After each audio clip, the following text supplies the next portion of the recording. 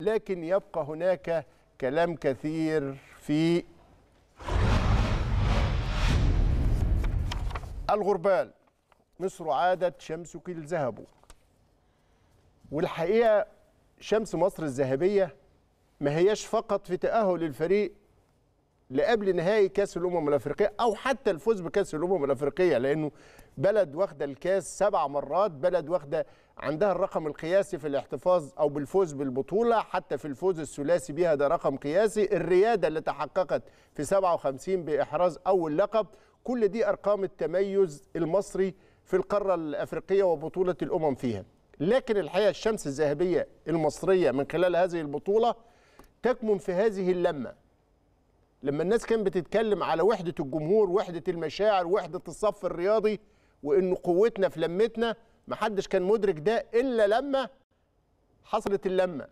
لما حصلت اللمة كله حس بقيمة المنتخب الوطني وأهمية تضافر كل هذه الجهود خلف منتخب مصر. أعتقد الشوارع والقهاوي وكل الأماكن اللي المصريين تابعوا من خلالها مباراة الأمس مع المغرب كانت كفيلة لتؤكد على قيمة وحدة الصف الرياضي وقيمة هذه اللمة الرياضية. ما فيش نجاح يا أستاذ إبراهيم إلا من خلال تلاحم. الخلافات بتقضي على فرص النجاح.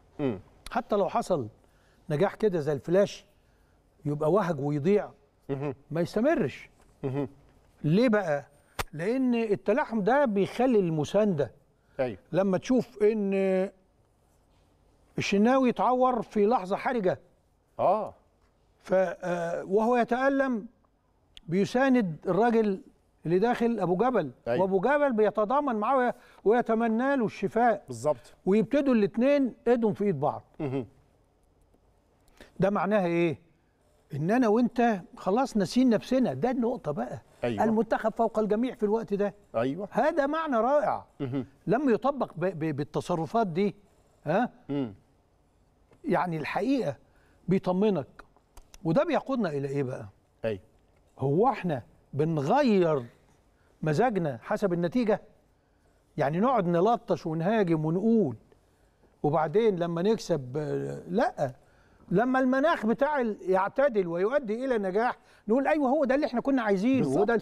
ده اللي كنا قاصدينه. أيوة. ما كانش الموضوع شخصي ما كانش هجوم على حد. ده بالعكس ده أنت كيروش ده المفروض إن هو مدرب له مكانة. فلما يجي ويت- يتفائل. لكن لما يجي ويتجاهل كل ما حدث ويهد ويبني من جديد لما رجعت الأمور إلى نصابها الطبيعي. الفردة اليمين مكا- مكانها والفردة الشمال مكانها اعمل في اللي انت عايزه في الطرق. أه، ماليش دعوة. 4 4 2 4 3 3 دي ما يا حقيقه تخصه ما تخصناش. لكن لما أجيب ال third back اللي لعبه back وأنا عندي back طب ما النهارده الراجل اهو اتحط ده في مكانه وده في مكانه والاثنين تألقوا جدا. أحمد آه، عمر كمال و- وعبد المنعم. أيوة آه، لما فتوح لعب مكانه تألق جدا. اللي أيوة. بيتغير مكانه هو اللي بيتهز سنة. أيوة على ما يعتاد لأن المسألة ممكن تغير على فكرة.